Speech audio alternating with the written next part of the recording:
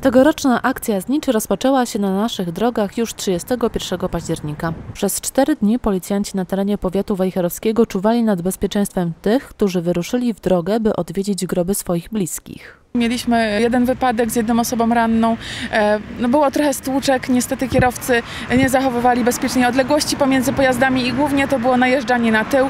E, Takich kolizji drogowych było 25. E, Policjanci w tym czasie również zatrzymali 10 nietrzeźwych kierowców. E, Niektórzy to byli rowerzyści, byli to też kierowcy samochodów osobowych.